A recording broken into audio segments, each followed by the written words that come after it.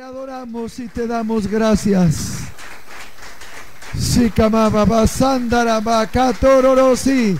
Elena naito akanara. Amana. Aleluya. Gloria a Jesús. Gloria a Dios. Saluda que está su lado dígale. Te hizo venir para oír su palabra. Tome su asiento, Dios le bendiga.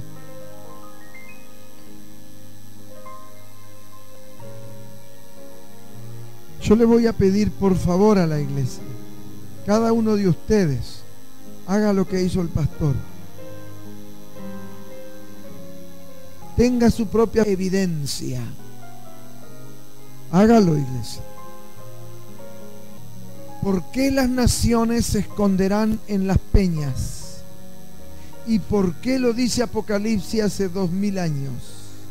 ¿Y por qué está sucediendo? ¿Por qué hay agujeros en la roca, en la montaña? ¿Por qué hay huecos donde entran más de tres mil personas, cinco mil personas? China se hizo uno que entra un millón de personas, iglesia.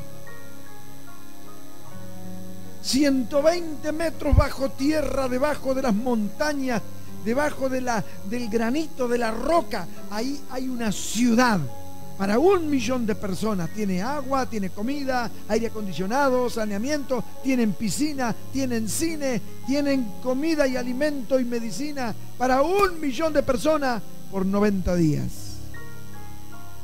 Y en Brasil me estaba enterando que hay uno que tienen hasta para tres años estar ahí abajo, como topos encerrados. ¿Por qué está pasando eso? Y la Biblia lo está diciendo, porque el Señor viene y la gente dirá, como dice sus santas palabras, escondernos de aquel que viene y de la ira del Cordero, escóndannos.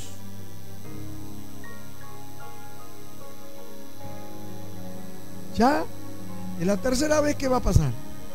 Y la humanidad no aprende. Pero es la tercera vez. Primero, Noé y su familia. Ocho personas creyeron. Decirle que está a tu lado, estamos felices nosotros, habemos más de ocho aquí. Ocho personas creyeron. ¿Habían evidencias? Había una evidencia el arca. ¿Había otra evidencia poderosa? Sí, había otra evidencia poderosa. Los animales. Venían los animales, venían solos, no fueron a cazarlos, no hicieron trampa, para cazar los animales. El Espíritu de Dios les hizo que entendiera. Y aunque la gente se burla, los animales tuvieron más, más, más capacidad de captar aquello que iba a suceder y se dirigieron al arca. ¿Y cómo sabían que en el arca era el único lugar para salvarse? El Espíritu de Dios trajo los animales, iglesia. ¿Cuándo nosotros vamos a terminar entendiendo? De que no es simplemente el arca de Noé y un diluvio, sino que fue algo totalmente sobrenatural lo que y sucediendo algo sobrenatural la gente no creyó. Mire, iglesia, el pecado cala de una forma tan profunda que hace a los seres humanos hechos imagen y semejanza de Dios unas bestias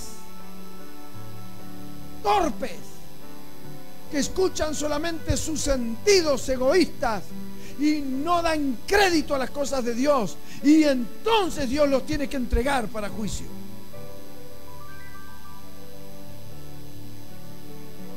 Hola. Número dos. Sucedió una vez.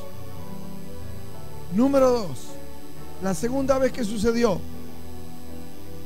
Lot en Sodoma, en Gomorra, Adma, Seboim y me faltó una que es Zoar. Nosotros normalmente conocemos el juicio de Sodoma y de Gomorra, pero las ciudades de la llanura Adma, Seboim, Zoar. Cinco ciudades con toda su gente y con todos sus animales fueron calcinados. No quedó ni siquiera un virus ahí. La ira de Dios fue que se quemó la tierra. La tierra se quemó, la tierra ardió, la tierra se quemó. No quedó nada. Quedó como que si fuera cal. Tan quemada quedó la tierra que hasta la tierra negra perdió su color porque fue quemada. Los que han trabajado en horno de ladrillo saben lo que es. Cuando la tierra se quema, porque es el horno ladrillo se quema, cambia de color. El adobe, el barro es negro pero cuando se calcina y se quema queda rojo. Pero si se sigue quemando y si se sigue sometiendo a altísimas temperaturas, queda blanca, se calcina, queda como talco. ¿Están escuchando? Así quedó ese lugar donde cayó el juicio de Sodoma, de, Sodoma y Gomorra. ¿Por qué? Por la maldad de los hombres. En los tiempos de Noé, Dios le dio una salida. ¿Cuál fue la salida para Noé y su familia? El arca. En los tiempos de Lot, para Lot y su familia, Dios le dio una salida. ¿Cuál fue? Envió ángeles. No hay otra referencia en la Biblia que los ángeles tomaran de las manos a una persona y le sacaron fuera de la ciudad. No hay otra referencia en que los ángeles tomaron de las manos a los seres humanos. Tan poderosa fue la mediación, la intercesión de Abraham por su sobrino Lot y por su familia. Cuando Dios fue, no encontró ni diez personas dignas. Entonces le dijeron a los ángeles, date prisa porque no destruiremos este lugar hasta que no estés a salvo.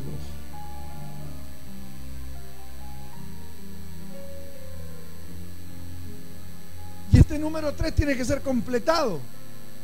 Ahora es el mundo entero.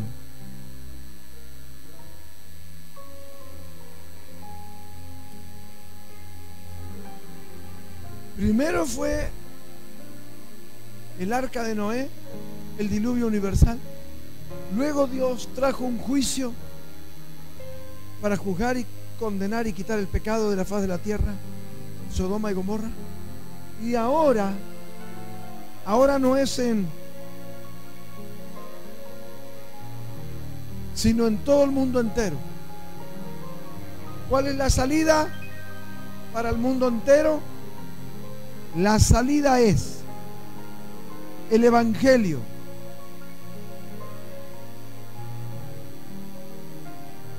¿Por qué? ¿Cuál fue el problema de Noé en su época? ¿Y cuál fue el problema de Lot en su época? Ahora es peor que en los días de Noé y es peor que en los días de Lot. Porque en los días de Noé había violencia, en los días de Lot había homosexualidad, había perversión en el alma. Y el Señor dijo que en los días que Cristo viniera sería como los días de Sodoma y Gomorra y como los días de Noé. Y usted mira los días de Noé y los días de Lot, cuando los sacó, Dios los sacó de Sodoma y Gomorra, usted junta esos dos días y tiene los días de hoy. Hay violencia hoy, violencia física, matazón, crímenes. Y las naciones están en sus propias trampas porque quieren cambiar la situación del mundo, pero no la pueden cambiar porque hicieron leyes y están prisioneros de sus propias leyes. La gente está armada hasta los dientes. Hay tantas armas en el mundo que si el diablo pone, como va a poner en el segundo jinete, en el segundo caballo, que se maten unos a otros, El segundo jinete de Apocalipsis, un caballo rojo y se le dio una gran espada al que venía, al que lo montaba. Y le fue dado el poder quitar de la tierra la paz y que se maten unos a otros. Hay tantas armas en el mundo, la gente está armada. Están pidiendo que la gente entregue las armas.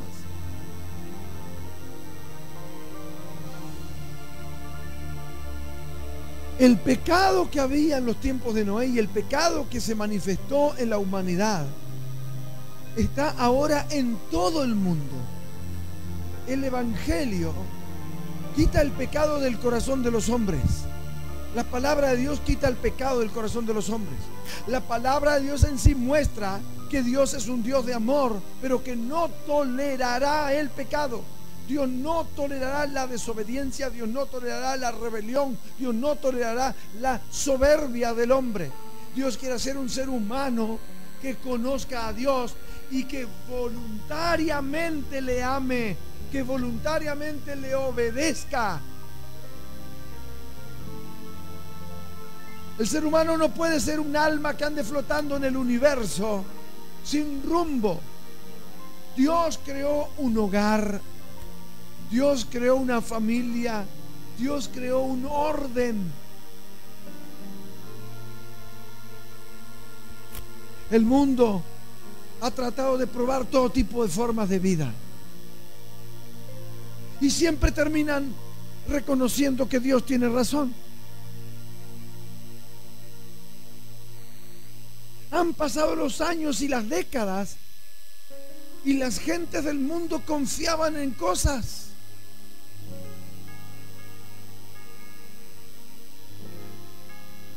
Primero que confiaron en la evolución, después confiaron en, en que la gente tendría que ser vegetariana y vivir en contacto con la naturaleza, y empezaron a aparecer los famosos hippies a vivir en contacto con la naturaleza, con la música, a vivir en fogones. Después se dieron cuenta que había que trabajar, porque nadie le daba nada.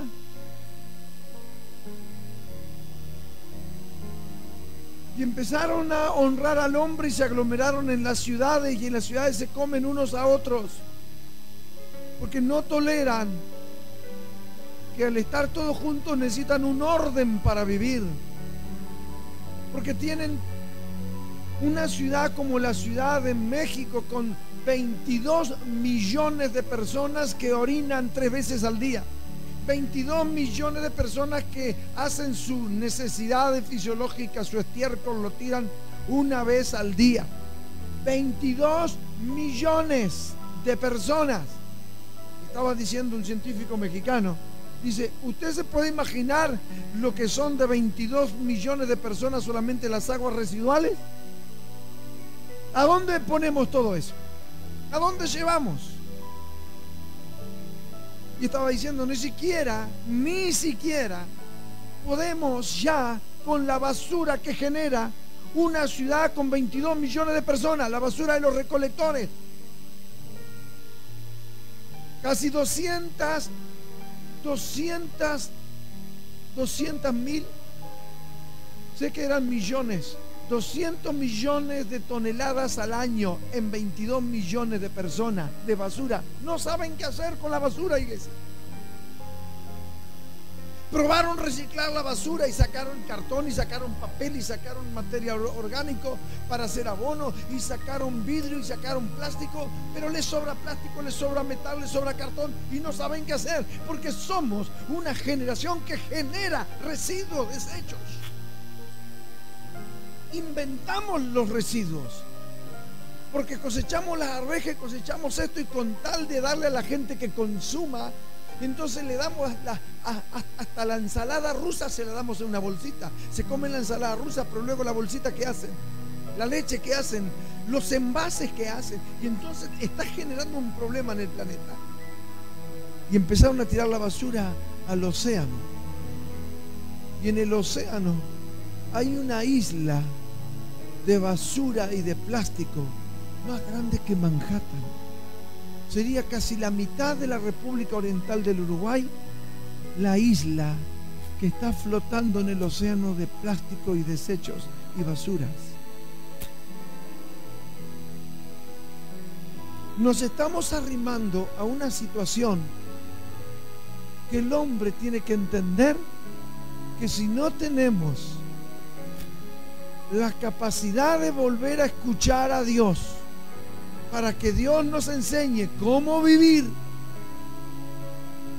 Fíjense que en el milenio va a vivir, en, en el milenio que va a comenzar con Cristo a la cabeza, con la ciudad de Jerusalén como capital del mundo, y de ahí va a salir la palabra de Dios para todas las naciones. Y ahí se le va a decir a la gente cómo van a vivir. Cómo se van a organizar las ciudades. Qué es lo que la gente va a comer. Y de qué hora a qué hora van a descansar. Y de qué hora a qué hora van a trabajar. Usted dice, eso es una, es una, es una, es un control que ejerce Dios. Es una manipulación de Dios a la mente de la gente. No se haga problema porque después que termine esto en una tercera guerra mundial y que se coman y se muerdan entre ellos, ya se amontonen los enfermos y se amontonen los hambrientos y saqueen las ciudades y saqueen los campos y los campos estén secos y los mares estén podridos y no haya comida en los mares, no haya comida en los ríos y la tierra no dé mantenimiento y los labrados no den mantenimiento y sean quitadas las ovejas de la majada y no haya los corrales porque unas se murieron, otras se pudrieron, otras las comieron, otras las robaron, otras las escondieron y los gobernantes de las naciones se meten en sus cuevas con su oro y su plata y que el mundo haga lo que quiera y van a entregar el mundo a los militares. Y el que ande de tal hora a tal hora los van a matar y su cuerpo quedarán como estiércol. Cuando la gente se dé cuenta que se encerraron en sus propias leyes porque dejaron a Dios de lado, entonces van a clamar a Dios. Y cuando comience el próximo milenio y lo vean a Jesús descender del cielo con la iglesia, el Señor va a sacar a Satanás del mundo y lo va a encerrar. Y entonces el mundo no tendrá acceso en su mente, los demonios no, no estarán aquí en la tierra, y la gente serán como niños obedeciendo a Dios. Y entonces Dios les dará su pan y su agua y todos tendrán amor y se terminará el egoísmo y se terminará la mentira que hay en el mundo. La mentira. ¿Cuánto gasta usted en su gasolina del auto? ¿Cuánto? ¿Se sabía que hay un invento ya y lo han hecho ya en el tercer o cuarto país, lo van haciendo? ¿Y sabe qué han hecho?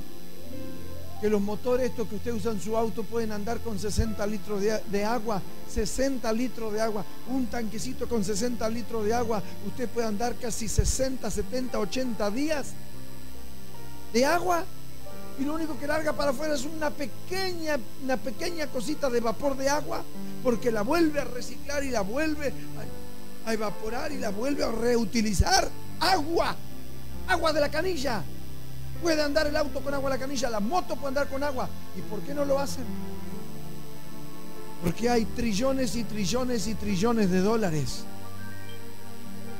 de a través del petróleo.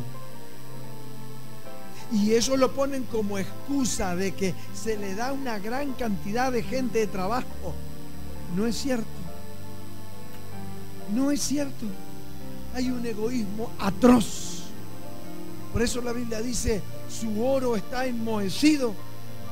Arrojarán a los topos y a los murciélagos su oro y su plata. ¿Y por qué a los topos y a los murciélagos? Porque hace bastante rato que están preparando esos búnker. Y por los sistemas de ventilación han entrado ¿qué? Murciélagos. Tendrán que lidiar con esa plaga ahí adentro antes de ser habitada. El ser humano se está amontonando. Hay 100 ciudades en el río Uruguay, 100 ciudades que arrojan sus aguas cloacales al río Uruguay. Si esto sigue así, vamos a terminar filtrando el agua para tomar orín.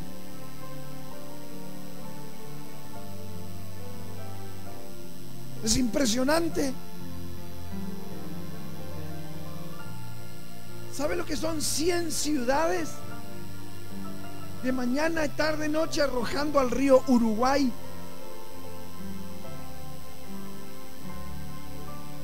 Por el amor de Dios.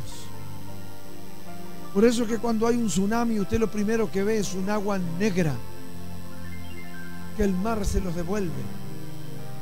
Un agua negra, que es las aguas cloacales y el lodo y de la mugre que las ciudades tiran a los mares cuando viene un tsunami lo primero que hay es aquella agua espantosa y horrible. Por eso da tristeza, da dolor ver cuando hay, inundación.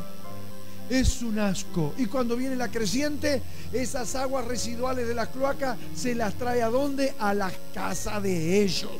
Los primeros que son inundados, ¿dónde caen? Las aguas se levantan y todo lo que hay en ese arroyo a dónde viene a las casas de ellos.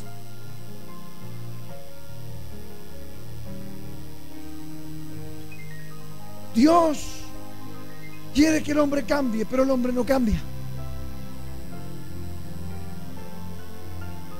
300 personas quedaron sepultadas en media hora en el barro, ahí en Brasil. 300 personas quedaron sepultadas en el barro porque una represa se rompió, porque estaban haciendo una minería ilegal y estaban cortando los árboles y entonces para lavar los minerales tenían un agua allí que no estaba permitido, se rompió la represa y el fango que arrastró sepultó y quitó la vida en media hora a 300 personas. Y usted ve allí en internet los helicópteros sacando a la gente de adentro del fango, de adentro del barro.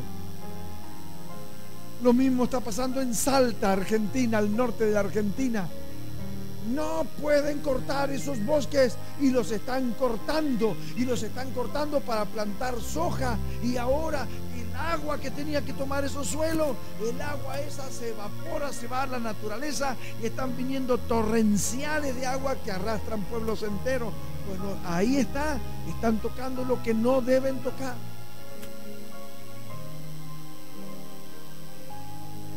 Los gobiernos no hacen caso a la voz de Dios los gobiernos se han corrompido. La Biblia dice que cayó el mundo y cayeron los altos mandos de la tierra. Por eso traspasaron las leyes y por eso la tierra se enfermó, cayó y no se levantará ya más.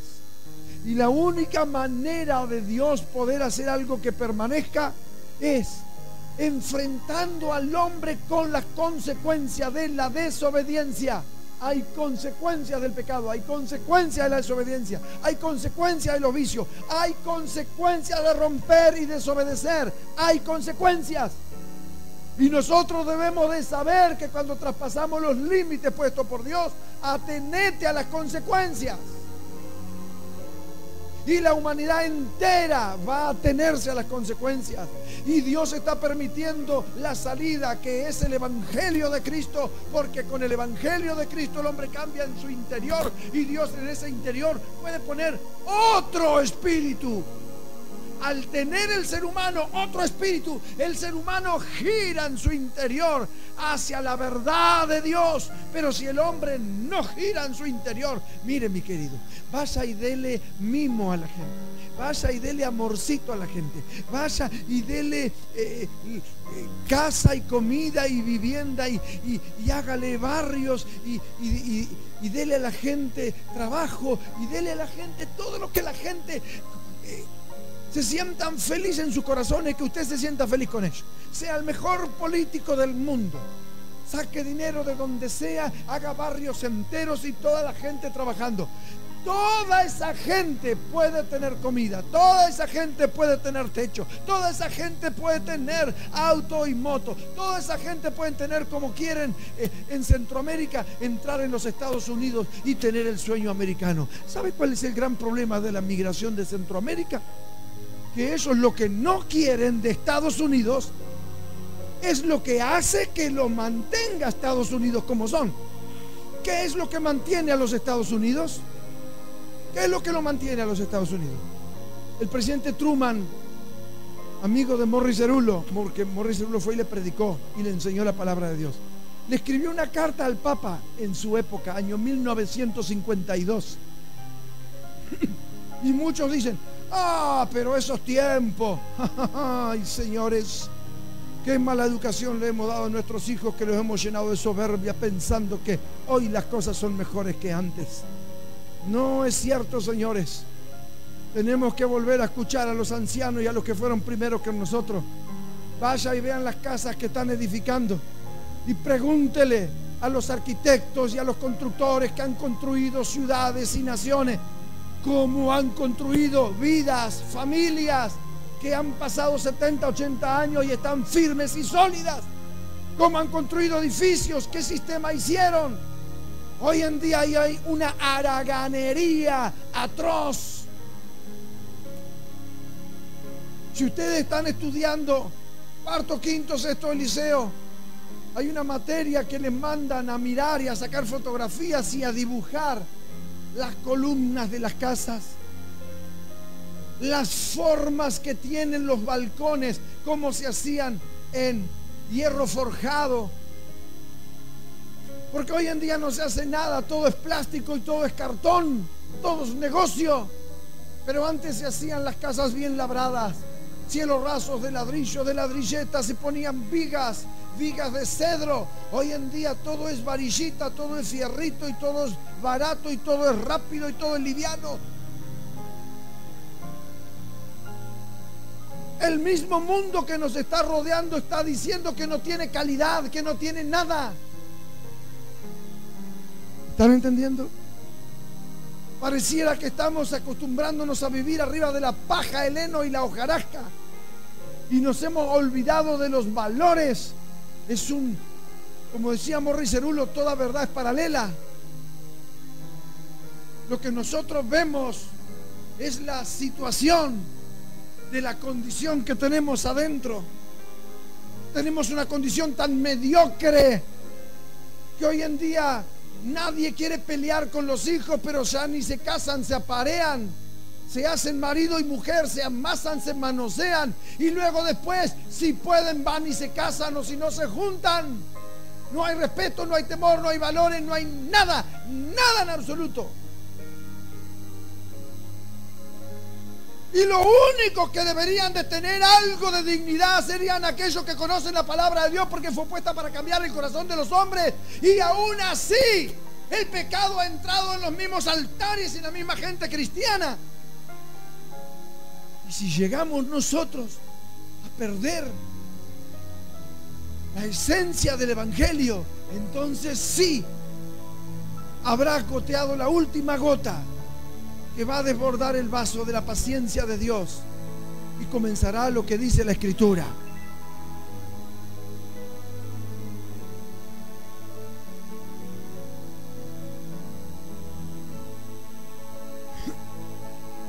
El presidente Truman escribió esta carta al Papa de esa época.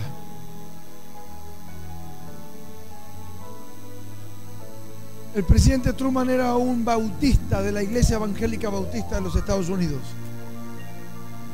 Y le puso, estimado señor Pacelli, como bautista y como jefe ejecutivo de la más grande y poderosa nación del mundo, en la cual todos me llaman simplemente señor Truman, no puedo dirigirme a usted como su santidad, título que solo le pertenece a Dios.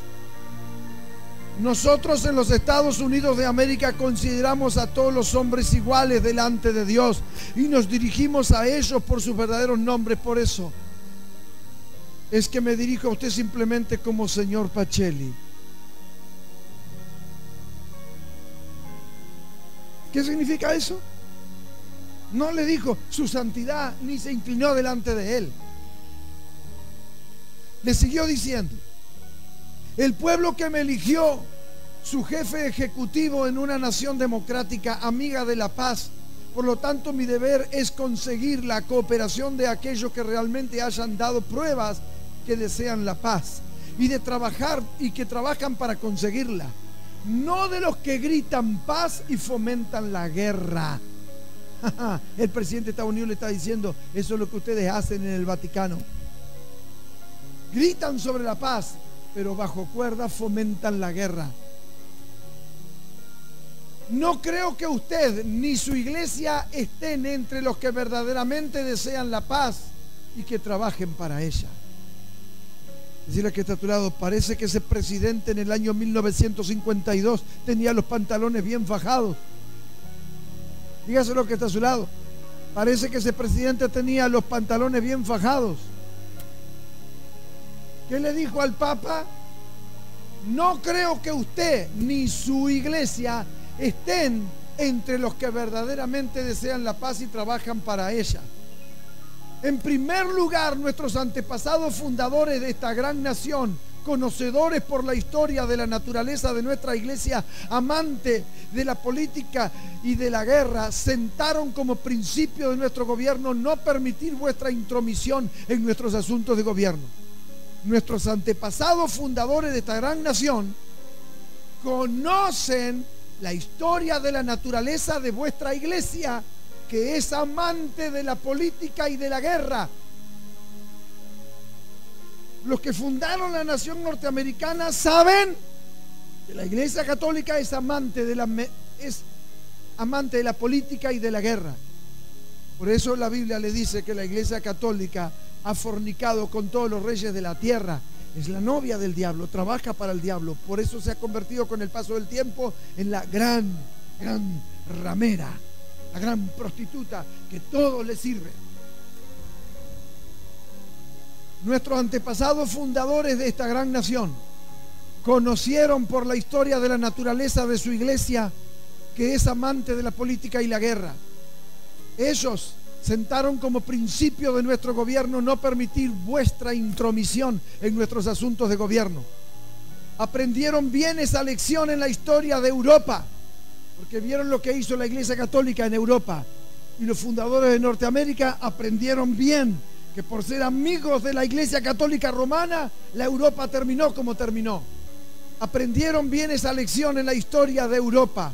Y por eso estamos convencidos de que nuestra democracia durará mientras no aceptemos vuestra intromisión, como lo hicieron los gobiernos de Europa a quienes enredasteis con vuestras doctrinas e intrigas políticas.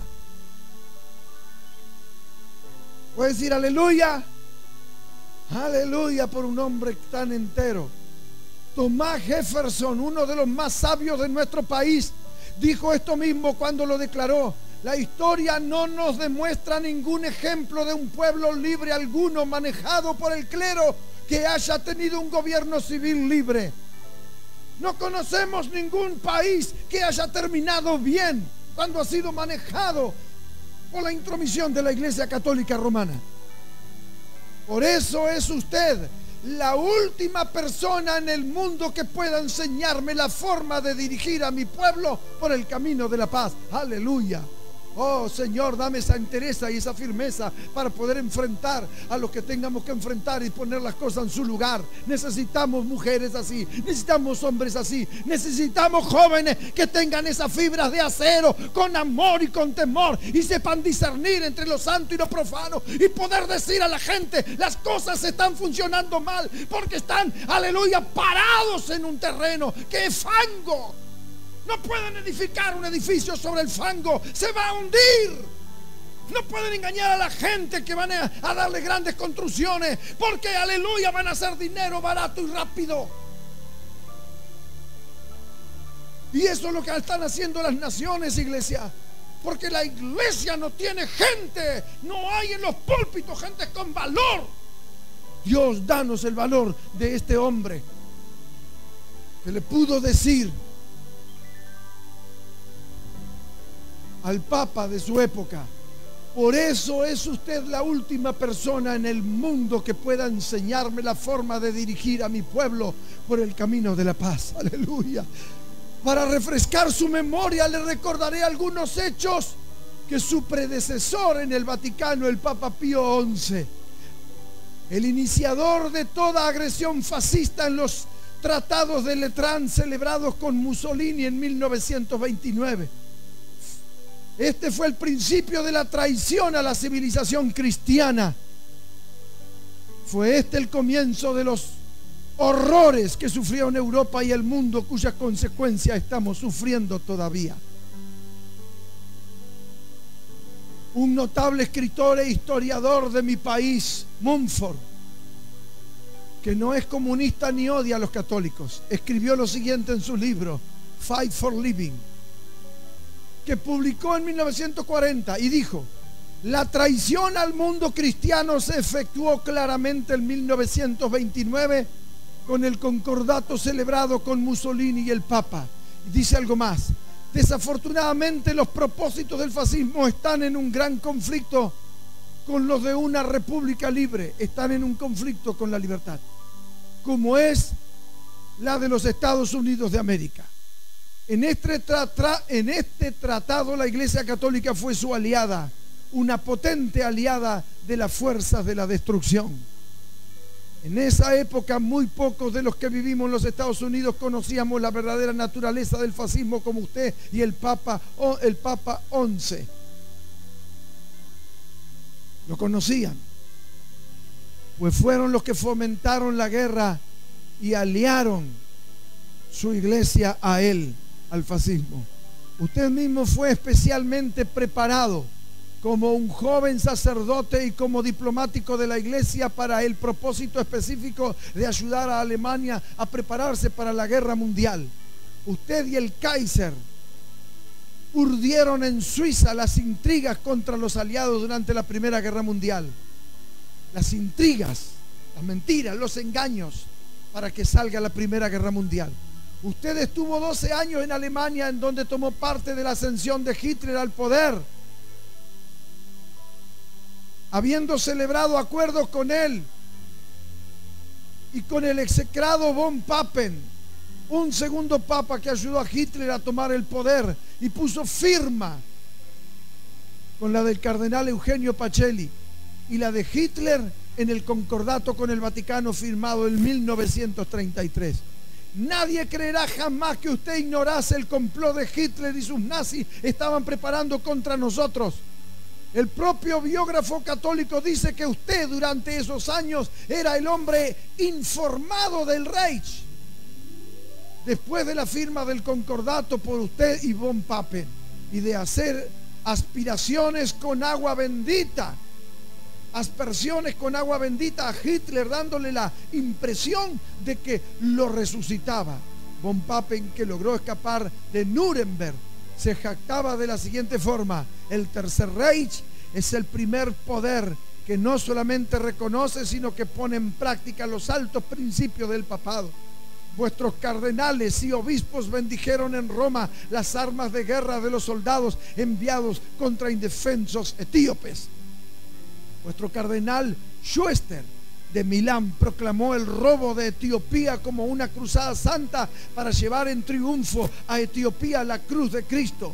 Mientras tanto, sigue llamando a su iglesia la iglesia de Dios y pretende que yo, como jefe de un Estado civil, le admita a usted como superior a mí y al pueblo de los Estados Unidos de América. Usted habla con palabras melosas y sobre justicia y al mismo tiempo hace sonar los tambores para otra guerra.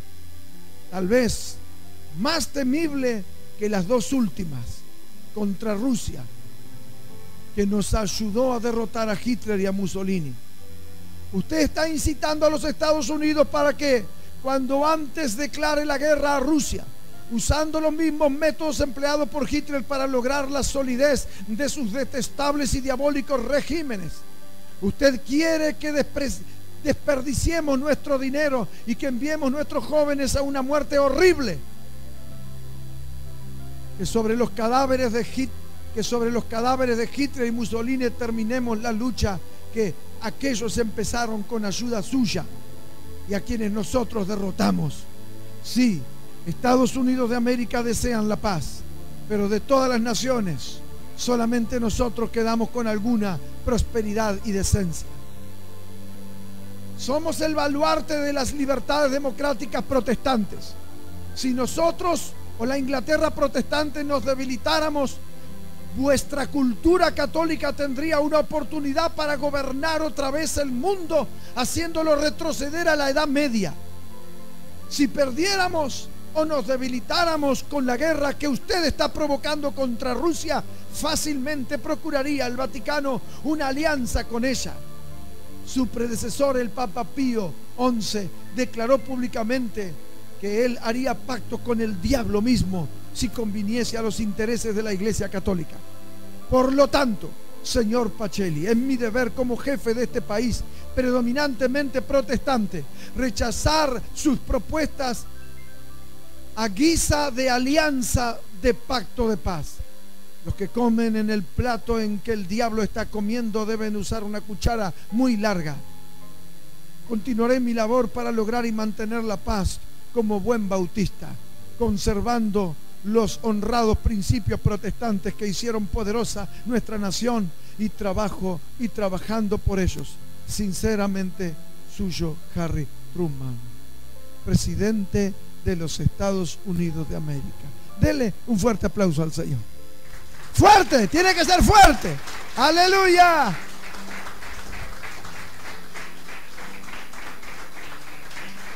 Gloria a Dios. Pon la fotografía al presidente Truman para que lo conozca. Hombres de valor necesita Dios. Dile que está a tu lado, Dios necesita hombres de valor y mujeres de valor. Hombres de valor y mujeres de valor. ¿Por qué ese presidente pudo escribir eso, iglesia? Pudo escribir eso porque conocía. No llegó a ser presidente simplemente porque sí, nada más como lo eligen por el dedo, como hoy son los políticos de hoy en día. Le falta valor, le falta agasa, le falta amor. Amor. No pueden tener amor si no tienen principios, iglesia. Si no tienen principio no pueden decir sí o no, porque no saben si decir sí a dónde lo lleva o si dicen no a dónde lo llevan. Hay una cobardía atroz en la gente.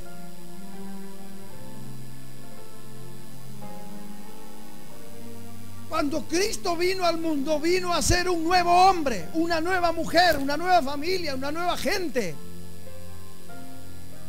Él vino a poner principios de valor el diablo lo saqueó. Es una humanidad saqueada. El diablo les robó todo. Nadie tiene nada que defender, nada. Solamente tener un catre donde dormir, una comida para llenar la panza. Con eso la gente se conforma. Por esa razón, toda la creciente está subiendo. Y son aguas turbulentas de pecado. Por esa razón Él dio una visión de que era una torre la iglesia torre fuerte es. Y él dijo, quien permanezca en mí, las aguas turbulentas del pecado no lo anegarán. Pero hay que tener amor a Cristo y amor a la palabra y creerle a Cristo y creerle en su palabra que Él cumplirá con lo que Él dijo que habría de hacer. Por eso si hay que torcer el destino y el camino y empezar de cero y empezar de nuevo. Hay que hacerlo pero no podemos seguir edificando en lo podrido, en lo torcido, en la mentira, en el engaño. No se puede. Es una locura, es una locura continuar como estamos. Pero quédense tranquilos. Y tal vez muchos de ustedes que están oyendo ahí en la radio y aquí mismo en la iglesia, escuchan, como dice el Señor, vendrán a ti y te escucharán como cantor de amores que canta bien oirán y no pondrán por obra tus palabras, porque esta humanidad está condenada y solo Dios la puede cambiar. Y no la va a cambiar con palabras suaves. Dios va a sacar sus instrumentos y va a tomar la tierra por sus extremos y la va a sacudir. Y habrá gemido y llanto y dolor. Y habrá hedor apodrido, apodrido de los cadáveres que no se pueden enterrar porque no hay gente quien los entierre. Entonces el mundo se volverá a Dios viendo la miseria de su condición sin Dios. Que la gente menosprecia y pierde el tiempo hermoso de buscar a Dios, donde hay comida y hay abundancia. El día que todas esas cosas se cierren y todas esas cosas falten, el hombre gemirá, el hombre gemirá y buscará a Dios. Por eso dice el Señor, me buscaréis y me hallaréis porque me buscaréis de todo vuestro corazón. ¿Cómo el hombre va a buscar a Dios ahora de todo corazón si sus corazones están endurecidos por el pecado? Y si aman la maldad, la maldad que hay en el mundo, la mentira y el engaño, el placer. Tiene que ser quitado eso, pero no puede ser quitado. El hombre tiene que entender que sus caminos son caminos locos de desvarío y han perdido la cordura y la prudencia. entonces no puede edificarse algo bueno porque Dios jamás va a poner vino nuevo en odres viejos, ni jamás va a poner, aleluya, un remiendo nuevo en un vestido viejo. Él va a sacar el vestido y va a poner vestido nuevo, pero en aquellos que están dispuestos a morir, a morir y no, aleluya, a seguir siendo con la vieja levadura. Dios tiene que cambiar y para cambiar no lo cambiará por las buenas iglesias.